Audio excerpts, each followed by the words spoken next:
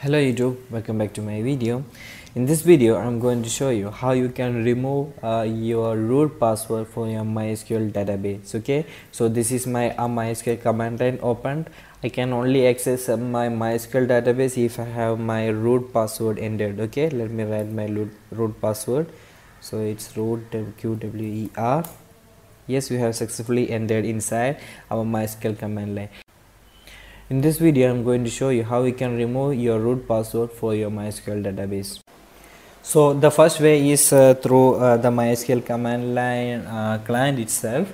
You have to uh, enter a simple query uh, or simple uh, command inside that. So the command to remove your current password is set password for root at the rate localhost is equal to put an empty string okay? This is basically we are uh, changing the password into an empty string okay?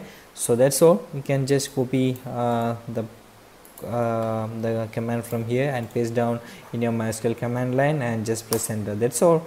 If you are just uh, now you can, you can just open your command line tool and just press enter you can log in, in okay? So if you uh, we have uh, literally we have removed the password okay so if you have any doubt on this please comment below. I'll be helping you. And uh, please like and subscribe for my videos and thanks for watching